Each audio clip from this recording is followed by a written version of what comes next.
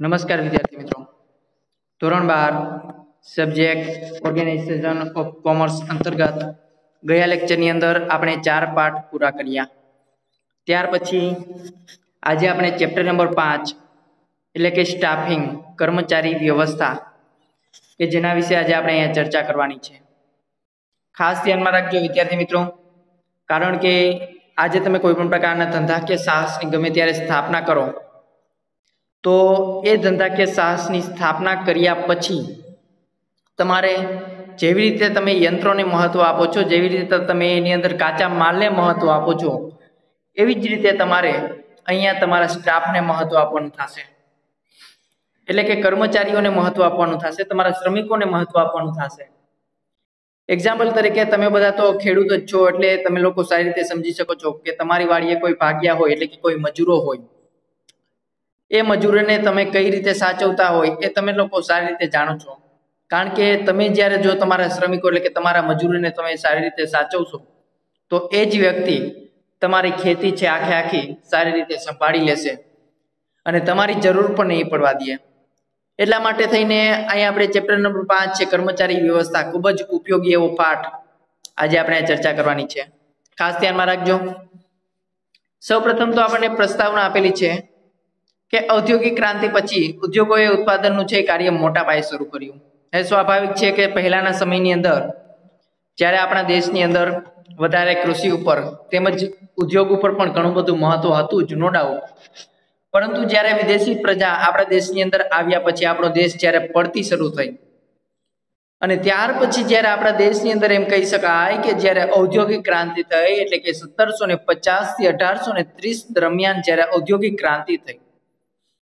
ત્યારની વાત છે કે સત્તરસો ને પચાસથી અઢારસો ને ત્રીસ ના સમયગાળાની અંદર શરૂઆતના તબકે છે કોઈ ચોક્કસ કાર્ય પદ્ધતિ ન હતી.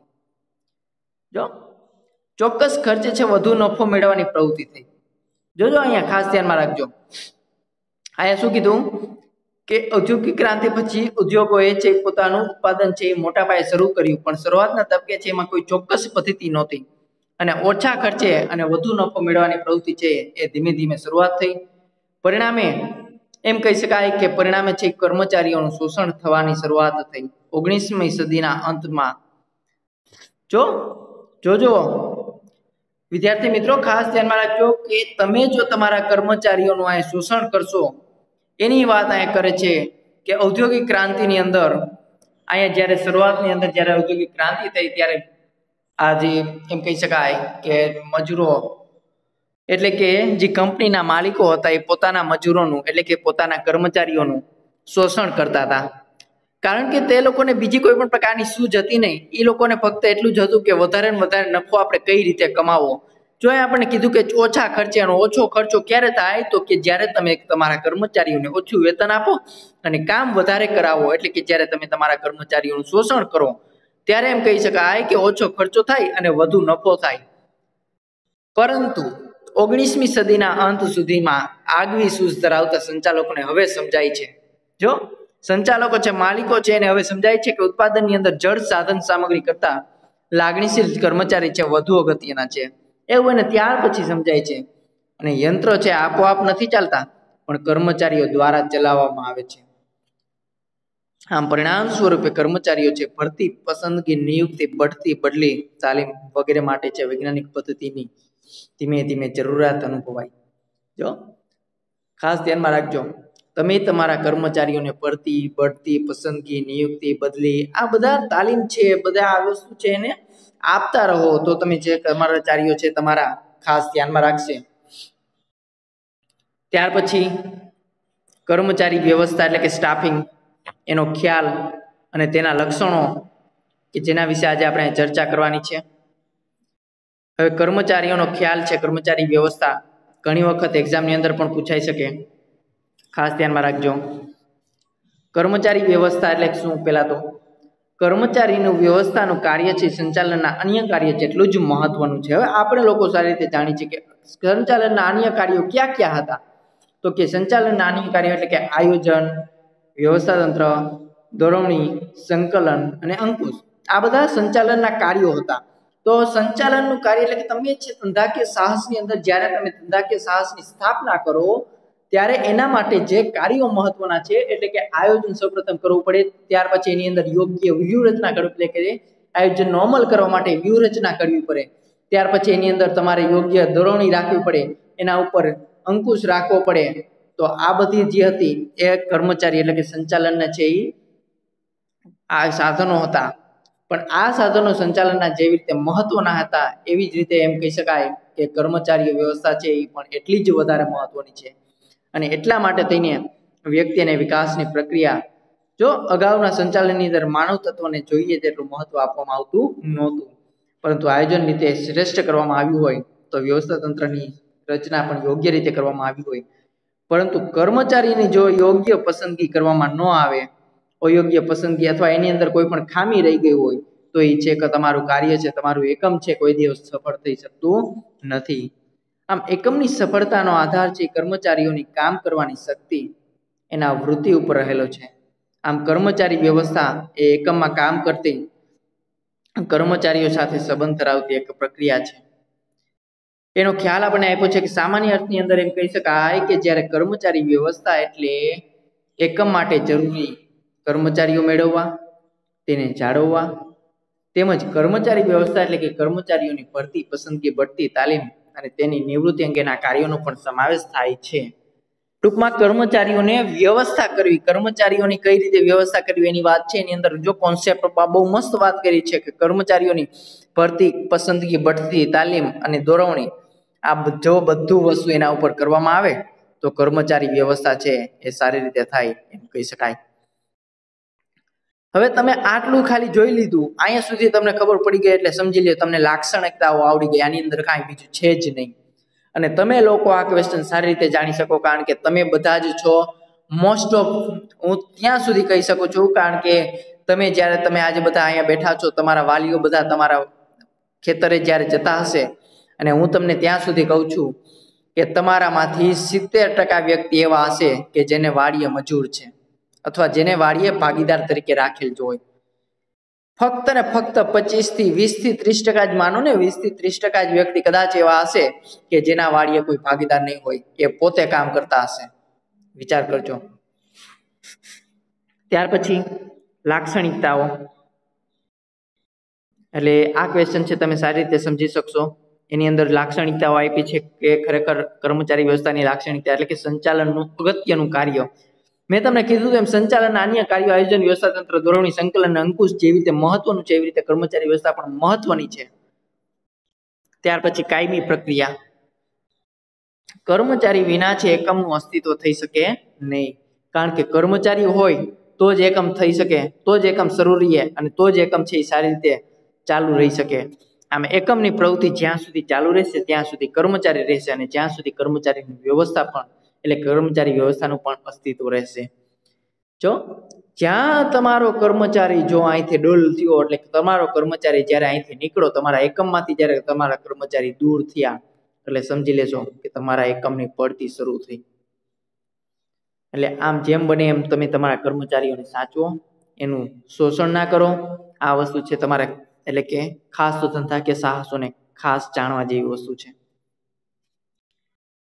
વિદ્યાર્થી મિત્રો, ત્યાર પછી છે માનવ સંબંધો સાથે નિસ્બત કર્મચારીનો મુખ્ય ઉદ્દેશ હોય તો એ છે કર્મચારીઓ મેળવી, તેને શ્રેષ્ઠ ઉપયોગ કરવાનો અને તેનું એક માત્ર જીવંત સાધન છે. તેને લાગણી અને સ્વમાન છે, તેને માનવતા પરિવર્તન છે અને માનવ સાથે સંબંધ છે. જો, મસ્ત વાત કરી છે. માનવ સાથે સંબંધ રાખજો, કારણ કે આજે તમારા તમારા જ એકમની અંદર જે કર્મચારીઓ હોય એના સાથે તમારા સંબંધો કેવા હશે તમે સારી રીતે જાણો છો, બરાબર? હંમેશા સારા જ સંબંધો હોય. કારણ કે જો તમે સારા સંબંધો ન રાખો, તો પછી તમને ખબર પડે કે ભાઈ આપણા કર્મચારીઓ આપણને કઈ રીતે નડે છે એ સરસ. ત્યાર પછી જો આપણે આગળ કીધું, પ્રવૃત્તિઓ ગતિશીલ બને અને અન્ય કાર્ય સાથે સંબંધ. જો કાર્ય પ્રવૃત્તિ છે એ ગતિશીલ બને. કારણ કે કર્મચારી હોય તો કાર્ય થાય અને કર્મચારી હોય તો એકમ આગળ રહે અને કર્મચારી હોય તો એકમની અંદર અલગ અલગ પ્રકારની પ્રવૃત્તિઓ જરૂરી છે એટલા માટે પ્રવૃત્તિ છે એ દરેક પ્રકારની ગતિશીલ બને. ત્યાર પછી સંચાલન અન્ય સાધનો, આયોજન વ્યવસ્થા તંત્ર ધોરણી, સંકલન અને અંકુશ કે જે કર્મચારી વ્યવસ્થા પણ સંબંધ ધરાવે છે. જો?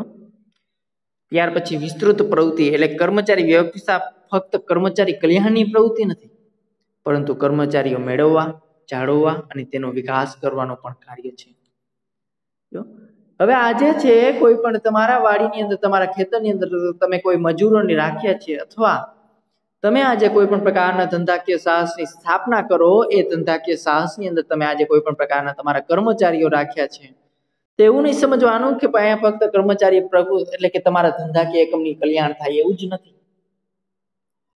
અહીંયા કર્મચારીઓનો પણ ફાયદો છે, કર્મચારીઓનો વિકાસ થશે, કર્મચારીઓની જાળવણી થશે, કર્મચારીઓને રોજગારી મળશે. જો? કારણ કે સ્વાભાવિક છે કે આજે તમારા ખેતરની અંદર અથવા તમારા સાહસની અંદર જ્યારે એવું હોય, ત્યારે એના માટે તમે અલગ અલગ પ્રકારની તેને તાલીમ આપતા હોય, એને અલગ વસ્તુ કે તમારા ધર્મ તમારા એકમની અંદર જે શીખવવાની હોય, એ વસ્તુ તમે એને શીખવતા હોય, તો આ વસ્તુ દરેક એની અંદર ખૂબ જ મહત્વની કહી શકાય. અને છેલ્લે આપ્યું છે આપણને મૂડી ખર્ચ. એટલે કે કર્મચારીઓની ભરતી પસંદગી તાલીમ અને વિકાસ માટે જે કરેલ ખર્ચ, એ કોઈ ધંધાનો ખર્ચ ન ગણતા, તેને મૂડી ખર્ચ તરીકે પણ ગણાવી શકાય છે. કર્મચારીઓની અંદર આજે કોઈ પણ તમારા કર્મચારીઓ છે એ કોઈ ખાલી તાલીમ ખર્ચ નથી, એ તમારો ધંધાનો મૂડી ખર્ચ છે. કારણ કે કહી શકાય કે જ્યાં સુધી તમારા કર્મચારીઓ કુશળ ત્યાં સુધી છે તમારું કાર્ય યોગ્ય રીતે ચાલે. જેવી રીતે તમે લાક્ષણો જોઈ ગયા, એવી જ રીતે કર્મચારી વ્યવસ્થાનું મહત્વ. જોજો, લાક્ષણિકતા હતી એ જ બેઠી મહત્વ પણ એની અંદર આવે, કારણ કે લાક્ષણિકતા હોય, ઈજાની અંદર, મહત્વની અંદર મોસ્ટ ઓફ આવતી હોય. ખાસ ધ્યાનમાં રાખજો એટલે સમજાઈ જશે કાંઈ છે નહીં ક્વેશ્ચનની અંદર. વિદ્યાર્થી મિત્રો, સંચાલનના ક્ષેત્રની અંદર જ્યારે કર્મચારી સંચાલન જ્યારે એક આગવું સ્થાન ધરાવે છે. તેમ તેમ ઉદ્યોગોનો વિકાસ થતો જાય, તેમ તેમ તેનું મહત્વ વધતું જાય છે. જો, કર્મચારી વિનાનું વ્યવસ્થા તંત્ર એ આત્મા વગરના હાડપિંજર જેવું છે. જળ યંત્રોની માવજત ઉત્પાદનમાં વધારો કરી શકે છે, પણ જ્યારે કર્મચારી હોય, વધુ સારા પરિણામ આપી શકે છે. જો, વિદ્યાર્થી મિત્રો, ખાસ ધ્યાનમાં રાખજો કે જળ યંત્રો એટલે કે જમીન, મૂડી, શ્રમ અને શ્રમ નિયોજક આ ત્રણ યંત્રો તો તમારા જળ હતા જ. એ જો તમારા બે યંત્રો, જમીન અને મૂડી, આ બે યંત્રો જો તમારા યોગ્ય રીતે ચાલે, તો પણ તમારે એની અંદર વધારે એક પરિણામ, સારા પરિણામ માટે, તો કે શ્રમ અને નિયોજક એ બે વસ્તુ જોઈ જોઈને જોઈએ જ આમ જ્યારે કર્મચારી વધુ સારા પરિણામ આપી શકે, આમ અન્ય પરિબળની કક્ષાએ કામ કરતા કર્મચારી છે, વધુ મહત્વના છે અને એના ઉપર એક માત્ર જીવંત સાધન છે.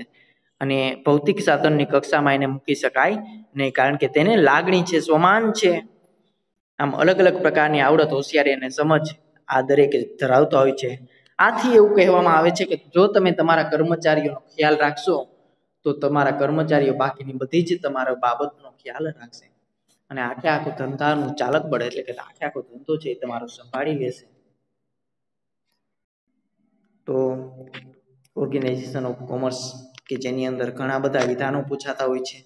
તો આ વિધાન ખાસ ધ્યાનમાં રાખજો.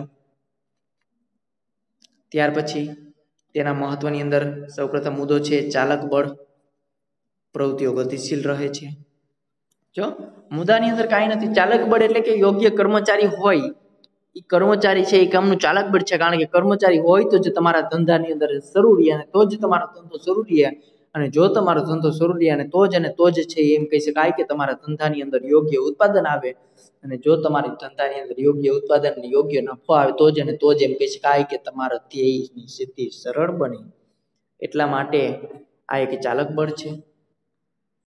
ત્યાર પછી પ્રવૃત્તિ ગતિશીલ એટલે કે દરેક એકમની પ્રવૃત્તિ છે, આ ગતિશીલ બનાવે સ્વાભાવિક છે, હવે ધંધો શરૂ રહે તો એનું ચાલક બળ એવું હોય તો પ્રવૃત્તિ તો ગતિશીલ બનવાની જ છે. અને અન્ય કાર્યો માટે પણ જરૂરી, કારણ કે આયોજન, વ્યવસ્થા તંત્ર, કરવણી, દરવણી, સંકલન અને અંકુશ. આના માટે પણ કર્મચારી વ્યવસ્થા જરૂરી છે, જો. કારણ કે આયોજન કોણ કરે? વ્યક્તિ. વ્યવસ્થા તંત્ર કોણ રચે? વ્યક્તિ. સંકલન કોણ કરે? વ્યક્તિ. દરવણી કોણ કરે? વ્યક્તિ. એના ઉપર અંકુશ કોણ રાખે? નિયંત્રણ કોણ રાખે? તો કે વ્યક્તિ. આમ એકમના હાથ પગ. એટલે કે સંચાલન એ આયોજનનું, જોજો અહીંયા આ વિધાન છે એ ઘણી વખત પૂછાય. કે એકમના હાથ પગ છે સંચાલન આયોજનનું માનવ શરીરના મગજ જેવું સ્થાન ધરાવે છે. અને કર્મચારી છે વ્યવસ્થા માનવ શરીરના છે હાથ પગનું સ્થાન ધરાવે છે. આમ તમામ તે તમના વિના છે એ એકમ પ્રવૃત્તિ થઈ શકે નહીં. જો સંચાલનની અંદર આયોજન જેવી રીતે મહત્વનું છે, કારણ કે આયોજન ન થાય તો તમારું એમ કહી શકાય કે તમારો યોગ્ય તંતો છે, યોગ્ય રીતે સફળ જઈ શકે નહીં. એટલે કે સંચાલનની અંદર જો આયોજન ન હોય, એવી રીતે તમારા શરીરની અંદર મગજ ન હોય એવું થાય. તમારા શરીરમાં મગજ ન હોય તો તમે ગાંડા જેવા લાગો કે નહીં? બરાબર? આ જ વસ્તુ છે બસ, કાંઈ નહીં. પછી તો કે તમારા મગજ છે, સારું એવું માઇન્ડ છે, પણ તમારા હાથ પગ ન હોય, તમારા હાથ પગ ન હોય, તો તમે કોઈક પ્રવૃત્તિ કરી શકો? ખરી તો કે ના. બસ, તો આ જ વસ્તુ છે મહત્વની. ત્યાર પછી કર્મચારીઓની અંદર સંતોષ. કર્મચારીઓનો ફાયદો છે, મુશ્કેલીઓ સમજી તેનો ઝડપી નિકાલ કરી શકાય છે. જો? કર્મચારીઓની ફરિયાદ હોય તો એની મુશ્કેલીઓ સમજી અને તેનો ઝડપી નિકાલ કરી શકાય છે. આમ એકમના કાર્યોનું આયોજન અને તે અંગેની યોગ્ય વહેંચણી અને કર્મચારીઓને છે અંગર સંતોષની લાગણી ઊભી થાય છે. ત્યાર પછી સંબંધોમાં સંવાદિતતા, એકમની પ્રતિષ્ઠા અને સતત ચાલતી પ્રક્રિયા આ બધી આપણે ખબર જ છે કે સંવાદિતતા એટલે કે કારણ કે એનાથી એક સંતોષ સંતોષભર્યું સંતોષકારક વાતાવરણ ઊભું થાય. કારણ કે માલિક અને કર્મચારીઓ વચ્ચેના સંબંધની અંદર સંવાદિતતા જળવાય. તમે જો તમારા મજૂરી સાથે, મજૂર તમારા કર્મચારીઓ, તમારા મજૂરો સાથે કેવું વાતાવરણ ઊભું કરો છો, તમે સારી રીતે જાણતા જશો એકમની પ્રતિષ્ઠા. કારણ કે સંતુષ્ટ અને કાર્યનિષ્ઠ કર્મચારી જો તમારી પાસે હોય ને, તો એમ કહી શકાય કે એકમની પ્રતિષ્ઠાની અંદર વધારો થાય. ત્યાર પછી અંતે સતત ચાલતી પ્રક્રિયા, કારણ કે કર્મચારી હોય તો જ ધંધો સારી શકે અને ધંધો ચાલુ રહે તો જ ઉત્પાદન ચાલુ રહે અને ઉત્પાદન ચાલુ રહે તો જ નફો મળે અને જો નફો મળે તો જ અને તો જ એમ કહી શકાય કે તમારા ધ્યેય પ્રાપ્ત થઈ શકે અને તો જ એમ કહી શકાય કે આ પ્રવૃત્તિ છે, એ ચાલતી પ્રવૃત્તિ છે. ખૂબ જ સરસ. ત્યાર પછી આગલા લેક્ચરની અંદર આપણે માનવ સંસાધન સંચાલનના ભાગ તરીકે એક કર્મચારી વ્યવસ્થા એટલે કે staffing as a part of human research management બહુ મહત્વનો ક્વેશ્ચન છે. આવતા લેક્ચરની અંદર જોશું. આભાર.